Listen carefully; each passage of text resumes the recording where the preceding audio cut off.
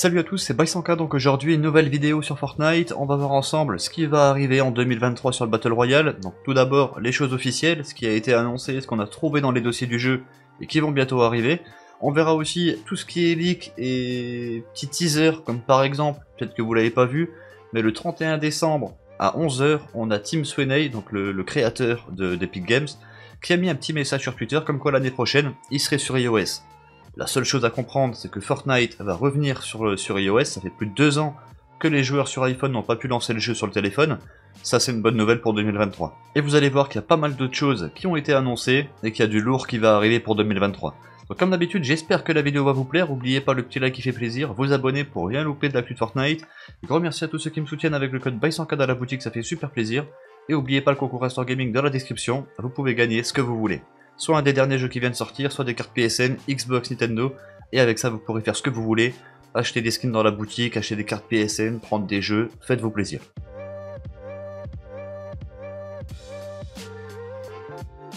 Bon du coup on a déjà vu ensemble une grosse annonce pour l'année 2023, c'est Tim Sweeney qui l'a donné, on l'a vu pendant l'intro, Fortnite qui devrait être disponible sur iOS pour l'année 2023. Après deux ans de procès, deux ans où les joueurs sur iOS n'ont pas pu lancer simplement le jeu sur l'appareil, ça devrait revenir. Le seul petit problème, c'est qu'il n'a pas donné de mois. Ça pourrait être février 2023, juillet 2023, voire même décembre 2023. Là-dessus, on n'a pas plus d'informations, mais je trouve ça déjà assez cool qu'on ait eu le, petit teaser sur son Twitter juste avant la nouvelle année. Ensuite, il y a un autre truc qu'on attend qui est assez gros et on n'a pas encore de, de date officielle, c'est le fameux mode créatif 2.0. Ça a été teasé un peu dans tous les sens, on a vu quelques images, quelques petits clips qui ont été pris par les développeurs, mais rien de, vraiment concret. On attendait quelques annonces sur les, événements IRL, comme par exemple au Game Awards. On attendait vraiment des infos sur la, dernière édition, avoir quelques, même juste un petit trailer du Creative 2.0, un truc concret, rien du tout. On espère que ça arrivera sur 2023. Ensuite, il y a une autre nouveauté, un changement que les, joueurs attendent depuis longtemps. Vrai, on l'attend depuis le, premier chapitre, ça fait 3-4 ans qu'on attend ça, il y a des images, des, des clips qui circulent dans tous les sens. C'est le mode à la première personne. Là, depuis la nouvelle saison, on a une image officielle qui a été trouvée. Je vous la mets ici à l'écran. Et si vraiment on a ce mode qui arrive sur le Battle Royale, ça devrait ressembler à ça. Et on l'a vu passer sur Twitter, beaucoup d'anciens joueurs ont annoncé que si vraiment le mode à la première personne arriverait sur le, Battle Royale, ça pourrait faire revenir du monde. Donc n'hésitez pas à me donner un peu vos avis, si vous pensez qu'un un mode à la première personne sur le Battle Royale, ça pourrait être sympa, ou s'il faut garder ce, ce délire de troisième personne pour que ça reste vraiment du Fortnite. J'avoue, ça fait, allez, ça fait 4 ans, je pense que je vous ai sorti la première vidéo sur le concept d'un mode à la première personne. On l'a voulu, on l'a imaginé, on l'a espéré, tout ce, que, tout ce que tu veux, mais là, au bout de 5 ans, tu regardes et... Je crois que quelqu'un l'a fait, il s'est amusé à mettre à chaque fois des images, des coffres, des maisons, de l'environnement, des armes. J'essaierai de vous le trouver et de vous le mettre à la fin de la vidéo. Et il compare un peu du coup tous les chapitres. Chapitre 1, chapitre 2, 3 et 4. Et c'est vrai que le, le jeu, il a, il a changé de fou pendant ces, ces, ces 5 années. Là, tu rajoutes encore un mode à la première personne. Limite, c'est même plus vraiment du Fortnite. Tu joues en mode à la première personne, sans construction, et avec les changements graphiques qu'il y a eu là sur le dernier chapitre, tu reconnais pas le jeu. La vérité, c'est pas le Fortnite que tu as découvert avec tes potes il y a 4-5 ans. Après, c'est une bonne chose aussi pour, euh, pour Epic Games et pour Fortnite. Ils ont pas peur du changement. Ils aiment apporter des nouvelles choses. Tous les nouveaux chapitres, il y a des dingueries qui arrivent, des trucs que tu t'y attends pas. Tu te dis, ah ouais, qu'est-ce qu'ils vont faire la, saison prochaine pour améliorer ou pour euh, pour égaler cette nouvelle saison et ils apportent une dinguerie, une grosse nouveauté. Au début, rappelez-vous, on avait des tout petits trucs dans le pass de combat, c'était les nouveautés des saisons. On avait des, nouveaux chapeaux, des nouveaux sacs à dos dans, le, dans pass de combat, on était tout content. L'arrivée des émoticônes, on était comme des dingues. Là aujourd'hui, tu peux en avoir 400 dans le casier, tu les utilises pas. Là, on est vraiment sur des grosses nouveautés, des gros changements majeurs chaque nouvelle saison. Et vous allez voir qu'il y a pas mal de gros changements qui vont arriver rien que dans cette saison et dans les prochaines.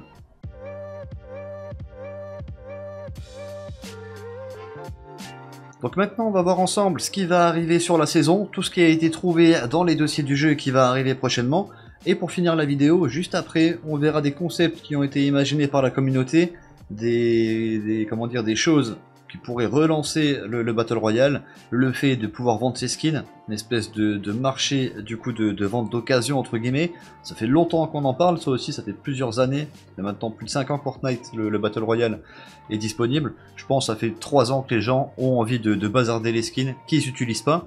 On va voir pourquoi ça serait terrible et pourquoi il y a moyen que ça se fasse pas et ça peut bloquer au niveau d'Epic Games. Donc là pour cette saison, on l'a vu rien que dans le trailer, il y a plein de choses qu'on a vues et qui sont pas encore arrivées. On va parler du coup du, bouclier qui est juste ici. Bouclier qui devrait arriver dans pas longtemps, peut-être même du coup dans la mise à jour de demain ou la semaine prochaine.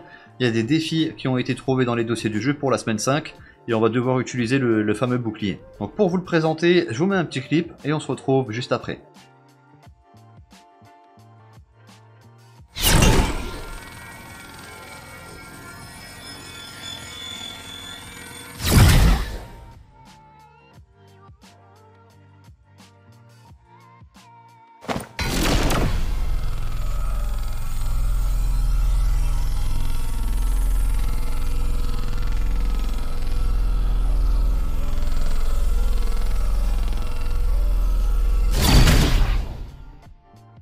Ensuite, autre grosse nouveauté qui devrait arriver, une nouvelle mécanique qui pourrait changer pas mal le, gameplay du Battle Royale, le fait de pouvoir courir sur les murs. Alors pour l'instant ça a été trouvé dans les dossiers du jeu, on n'a pas encore de gameplay, de plus d'informations là-dessus, mais c'est une nouvelle mécanique qui pourrait être ajoutée cette saison, donc n'hésitez pas à me donner un peu vos avis dans les commentaires, imaginez en, Battle Royale avec les constructions, t'as un mec qui s'amuse à faire une tour, T3 par exemple, tu, tu, tu, sais pas, tu cours dessus, t'arrives à l'escalader, faut vraiment voir comment Fortnite va le mettre en place, Soit c'est vraiment juste du wall run et tu cours sur un mur histoire de te déplacer, ou alors tu peux vraiment escalader des hauteurs, monter des tours et tout, ça peut vraiment tout changer. Il y en a qui vont apprécier, il y en a qui vont détester, donc n'hésitez pas un peu à me donner vos avis là-dessus dans les commentaires. Si ça arrive, comment vous allez le ressentir?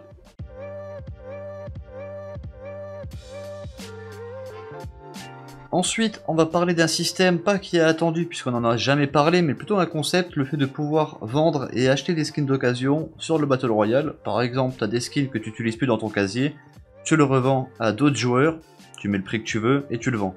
Il y a plein de côtés positifs à ce système, par exemple il y a un beau skin dans la boutique, t'as pas assez de V-Bucks, tu te sépares d'un skin que tu n'utilises plus pour avoir assez et pouvoir l'acheter, faire le ménage un peu dans le casier et tout ça, mais il y a aussi plein de côtés négatifs. Tout d'abord, ça mettrait un gros frein à, l'économie de, d'Epic Games, hein. ils font des millions et des millions tous les ans avec la vente de skins. Après, on peut imaginer qu'ils prennent une partie même sur les, ventes des skins d'occasion, mais ça serait pas aussi gros que si tu irais acheter des nouveaux skins tous les jours dans la boutique. Et il y a aussi la, la protection des joueurs.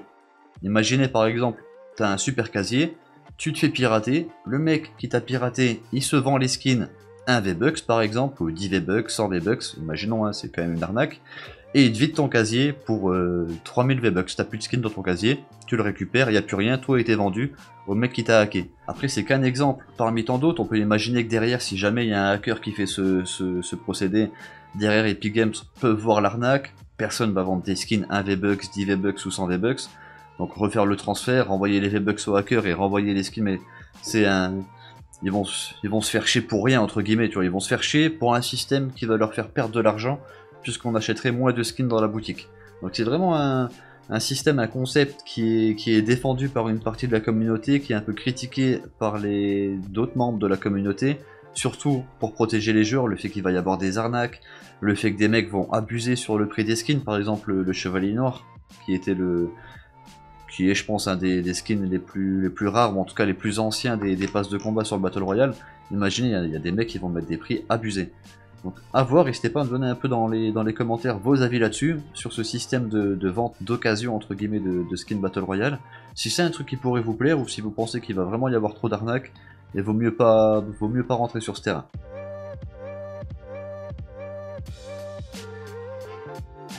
Et voilà, du coup, on arrive à la fin de la vidéo. J'espère que l'épisode vous a plu. Comme d'habitude, n'oubliez pas le petit like qui fait plaisir, vous abonner pour rien louper de l'actu Fortnite. Moi, je vais vous laisser là-dessus. Je vous dis à tous bon game, et ciao tout le monde.